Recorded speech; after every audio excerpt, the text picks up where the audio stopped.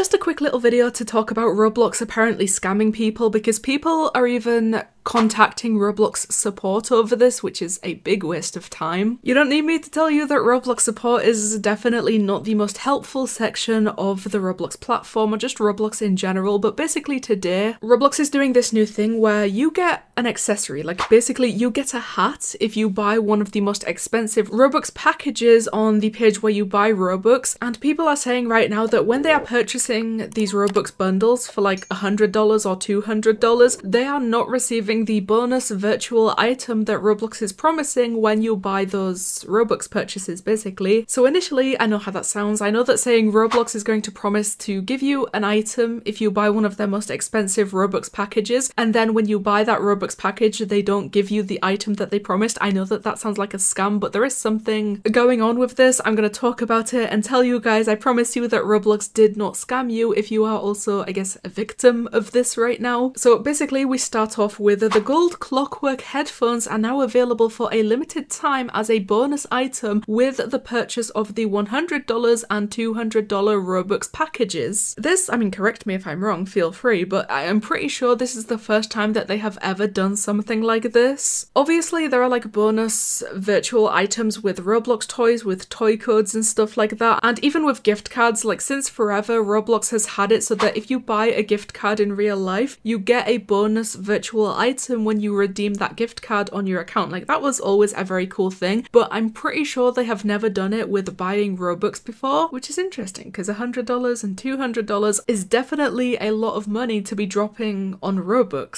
So yeah, these gold clockwork headphones, I mean, they got leaked a while ago. People were very hyped about them. It turns out that they are only available if you buy some of this Robux. Again, for $100 or $200, you cannot buy them otherwise. They are not a limited item. Even after people received them from this. You can't trade them or anything like that. They are stuck on those accounts forever. Like that's just how this is going to work. And that's the only way that you are ever going to be able to get these headphones. But like I said, people are reporting right now that they just are not receiving the item when they buy either of these bundles. Moving on, users are reporting that they have not received the item upon purchase. We will provide updates on this as soon as possible. I think the most uh, concerning part about this to me is the fact that $100 only gets you 11,000 Robux. That sounds horrible, doesn't it? Like, is that just me or does that sound ridiculous? To drop $100 and you only get like 10k from it, that's insane. But the solution to this and the reason that Roblox is not scamming you, I promise, is that a, a real Roblox admin, Inception Time, decided to tweet about this and said, if you purchased one of the Robux options that offered the golden clockwork headphones and you didn't receive it, do not panic.